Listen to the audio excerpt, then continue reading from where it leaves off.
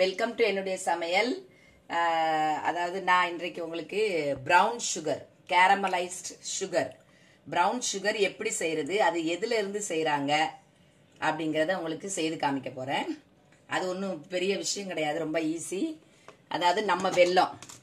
வெல்லம் தான் நாட்டு சக்கரை. அதாவது நீங்கள் நம்ம கருப்பட்டியும் எடுத்துக்கிடலாம்.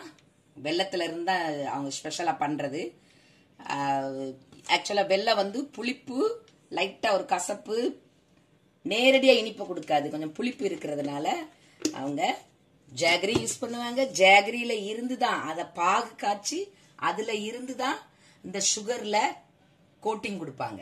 அதுக்கு தான் brown sugar caramelised brown sugar இப்போ நான் உங்களுக்கு இதுதான் நம்மளுடைய வெல்லம் ஜாகரி மண்டை வெல்லம்னு சொல்லுவோம் வெள்ளம்னு சொல்லுவாங்க. அதுதான் இப்படி பவுடராக நான் வாங்கி வச்சிருக்கிறேன். ஏன்னா எனக்கு ஈஸியாக இருக்கட்டும் அப்படின்னு. பவுடர் ஜாகரி இதை தான் நான் இப்போ தண்ணி கலந்து பாகு காய்க்க போகிறேன் இப்போ அது சீனியோட எப்படி கலக்கிறதுன்னு செய்து பார்ப்போம். கனமான பாத்திரம் பேனு ஏதாவது எடுத்துக்கோங்க. தண்ணி அதிகமாக ஊற்ற வேண்டாம். நம்ம பாகு காய்க்க போகிறோம் நல்லா சூடாகிக்கிடட்டும் ஓரளவு. தண்ணி குறைவாக தான் இருக்கணும். இப்போ இந்த இதை போடுறோம்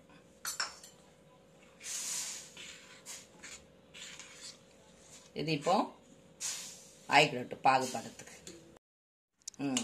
இப்போ இது வந்து நம்ம நம்ம கொழுக்கட்டைக்கு எப்படி பண்ணுவோம்? ரொம்ப நம்ம திக்க ஆக வேண்டாம். பாகா ரொம்ப அப்புறம் ஆகும்போது கட்டி ஆயிரும். அதனால ஒரு நல்ல இப்படி கொதி வந்த உடனே ஸ்டாப் பண்ணிருங்க. இப்படி ஒரு திக்கான ஒரு கொதி வந்த உடனே ஓரளவு இப்படி நம்ம பா இது என்னது கொழுக்கட்டைக்கு எப்படி பாகு காப்போம் அது மாதிரி ரொம்ப சவு மிட்டாய் மாதிரி ஆயிடக்கூடாது இப்போ இப்போ இது ரெடி நான் இப்போ இதை வடிகட்டி வச்சிருக்கிறேன். சூடாக இருக்கும்போதே வடிகட்டிருங்க. இல்லாட்டி அது கொஞ்சம் கஷ்டம் வடிகட்டுறது. இது இருக்க இருக்க அப்படி இருக்கும். ரொம்ப இனிமே இவ்வளவுதான். இதுதான் சாஸ் ரொம்ப நீங்க அதை கிண்டிக்கிட்டே இருக்காதீங்க பேன்ல அது என்ன ஆயிரும்? திருப்பி அந்த நிலைமைக்கு போயிருப்பாரு அது சீனி நிலைமைக்கு போயிரும். கடக்க அதாவது கட்டி ஆயிரும் கல் மாதிரி. அதனால அதுக்கு அது கொதிச்ச உடனே சுவிட்ச் ஆஃப் பண்ணிருங்க. இப்போ பாருங்க இதுதான் இப்போ கேரமலைஸ் பண்ணி வச்சிருக்கிறேன். சாஸு மொலாசஸ்ன்னு ஆங்கிலத்தில் சொல்லுவாங்க. இப்போ இதை என்ன பண்ணும் இது நம்ம பாகுன்னு சொல்றோம். வெள்ளைப்பாகு அல்லது கருப்பட்டி பாகு. இப்போ இதை சாரி இப்போ இந்த சீ இந்த சீனியும் நம்ம கரும்புல இருந்து இந்த வெள்ளத்துல இருந்து தான் இந்த சீனி வந்திருக்கு.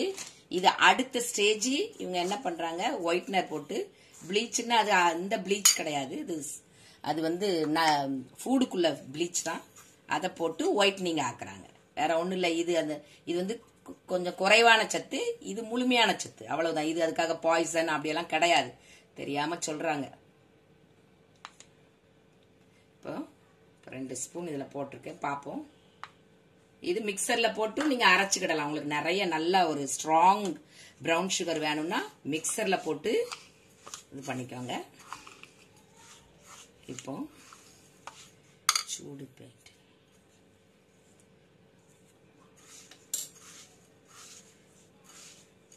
இதுதான் ப்ரௌன் சுகர் இதை மிக்சரில் போட்டு அடித்தா இன்னும் நல்ல மாவாக வந்துடும் இப்போ பாருங்க. இது நான் பண்ணின ஒயிட் ப்ரௌன் சுகர் இப்போ இது நான் வெளியில வாங்கின கேரமலைஸ்டு இதுக்கு பேர் கேரமலைஸ்ட் ப்ரௌன் சுகர் இப்போ இது நல்லா திக்கா வேணும்னா இதை நல்லா அரைச்சிக்கிட வேண்டியது. இன்னும் போட்டு ரெண்டு ஸ்பூன் போட்டாலே போதும். இந்த நிலைமைக்கு வந்துடும் இப்போ பாருங்க நான் கடையில் வாங்கின ப்ரௌன் சுகர் வேற ஒன்றும் இல்லை. நாட்டு சர்க்கரையை பாகா காய்ச்சி நம்ம கோல் நல்லா ஆறுன உடனே இதில் சேர்த்துருவோம் என்றைக்குமே வந்து நம்ம இப்போ இதுக்கு இதுக்கும் சேம் ஆயிட்டு வெறும் பாகா இதை மட்டும் நீங்கள் இப்போ நீங்கள் கேக் பண்ணும்போது நீங்கள் இப்படி இது பாதி ஒயிட் சுகர் பாதி. இப்படி கூட நீங்கள் கலந்துக்கிடலாம் ஒன்றும் பிரச்சனை கிடையாது. இப்போ இவ்வளோ நேரம் பார்த்ததுக்கு ரொம்ப நன்றி. பிடிச்சிருக்குன்னு நினைக்கிறேன். கண்டிப்பாக சப்ஸ்கிரைப் பண்ணுங்கள் தேங்க்யூ